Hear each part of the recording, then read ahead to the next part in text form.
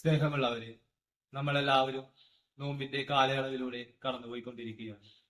ഉപവാസത്തിലും പ്രാർത്ഥനയിലും ദാനധർമ്മത്തിലും പോലെ നമ്മൾ ഈ നോമ്പുകാലം ചെലവഴിക്കും യേശു തന്റെ സ്വന്തം ജീവിതത്തിലൂടെ നമുക്ക് കാണിച്ചു തരുന്ന ഒരു കാര്യമുണ്ട്.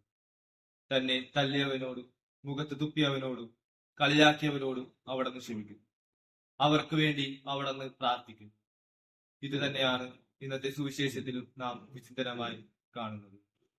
ശത്രുവിനെ സ്നേഹിക്കുവിൻ. അവർക്ക് വേണ്ടി പ്രാർത്ഥിക്കും.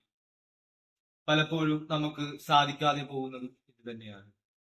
മാനസികമായി ചിന്തിച്ചാൽ കുറച്ച് ബുദ്ധിമുട്ടേറിയ കാര്യമാണ്. എന്നാൽ ക്ഷമിക്കുവാൻ പറ്റാതെ പോകുമ്പോൾ സമൂഹത്തിലും കുടുംബങ്ങളിലും വഴക്കുകൾ കൂടുകയും അതുപോലെ തന്നെ സമാധാനം നഷ്ടപ്പെടുകയും ചെയ്യും. ഇങ്ങനെയുള്ള സാഹചര്യങ്ങളിൽ അവരോട് നാം ക്ഷമിക്കുക.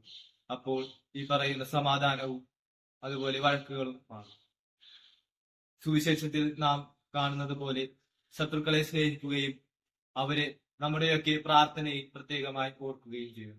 അപ്പോൾ സ്വർഗസ്ഥനായ പിതാവ് നമുക്കതിനുള്ള പ്രതിഫലം തരും. പ്രത്യേകമായി നമുക്കതിനുള്ള അനുഗ്രഹത്തിനായി ദൈവത്തോട് പ്രാർത്ഥിക്കാം. ദൈവം നമ്മെ അനുഗ്രഹിക്കട്ടെ.